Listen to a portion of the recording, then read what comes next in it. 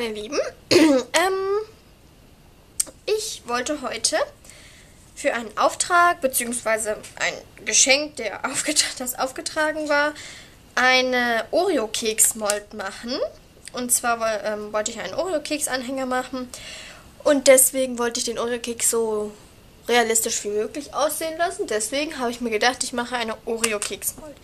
Also ihr braucht dazu Oreo-Kekse, ähm, eine Schere für die Oreo-Keks aufzumachen, ähm, ein Dotting-Tool, Fimo für die Mold. Also ich benutze immer Fimo für die Mold. Das geht bei mir eigentlich relativ gut.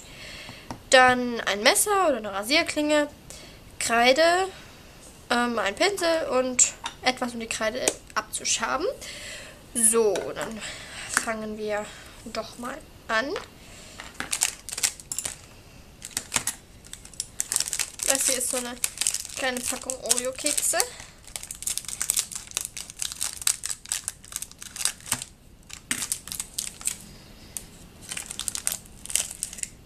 Und hier sind diese Oreo-Kekse drin. Weil die haben so ein ganz bestimmtes Design. Ah, die sind, glaube ich, von beiden Seiten gleich. Ja, gut. Ich dachte schon, ich müsste zwei Molds machen. So, dann brauchen wir das Fimo. Ich weiß, es muss ein bisschen weich geknetet werden. Das ist schon ziemlich alt, deswegen ist das ein bisschen hart. Obwohl, ich habe gerade überlegt, ob ich mir die Mold nicht aus Fimo R machen soll. Das geht auch manchmal ganz gut.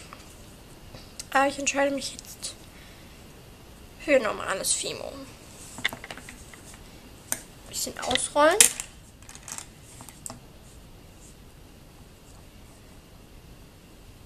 So. Jetzt müssen wir den schönen, schönen Oreo-Keks, Größe passt, ein bisschen, ja, unappetitlich machen. Denn wir machen da jetzt Kreide drauf. Denn wir wollen ja nicht, dass der Keks festklebt.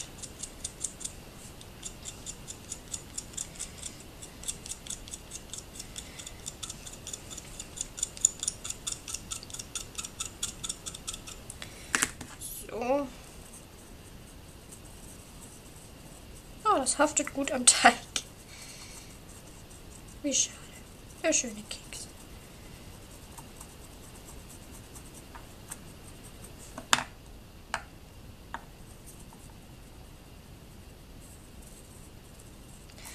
So, jetzt haben wir das hier lackiert, also beziehungsweise kreidiert, ich weiß nicht, wie man das nennt.